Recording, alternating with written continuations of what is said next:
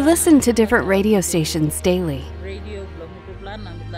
However, we were not satisfied until one day when my husband stumbled upon Hope FM.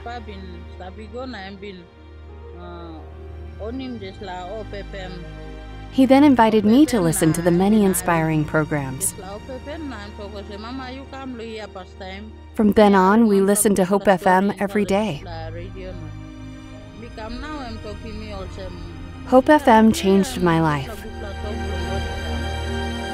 Become now I'm talking me also. Hope FM changed my life.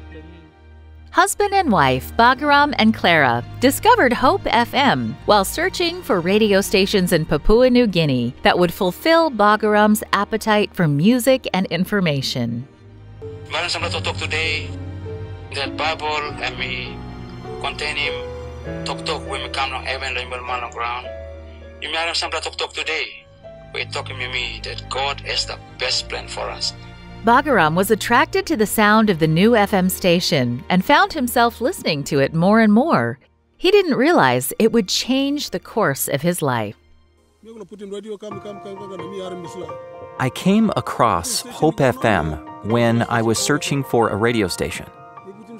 I realized that Hope FM was new and different to me. I invited my wife to listen to the new radio station I had found. The radio station is unique and already impacting my life. My wife joined me in listening to the radio since last October. I didn't attend any church at that time.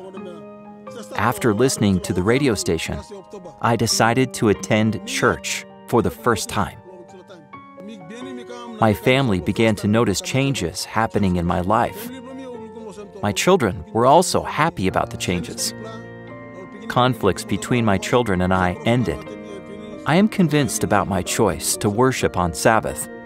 My choice is a blessing to my family.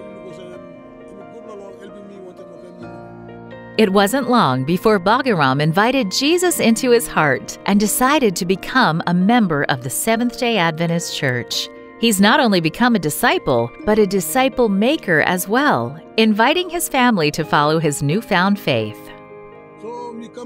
It was Hope FM that convinced me. It brought light into my life. I was truly convicted by the truth. I then shared my newfound truth with my family.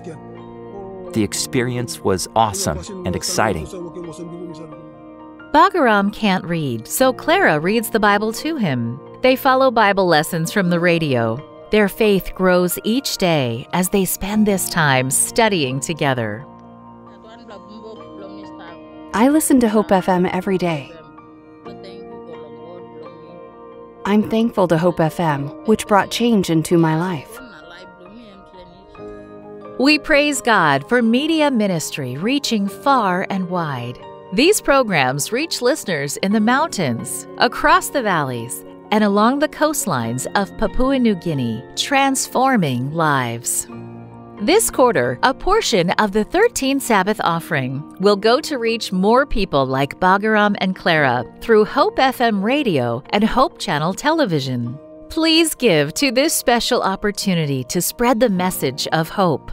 Thank you for supporting the 13th Sabbath offering.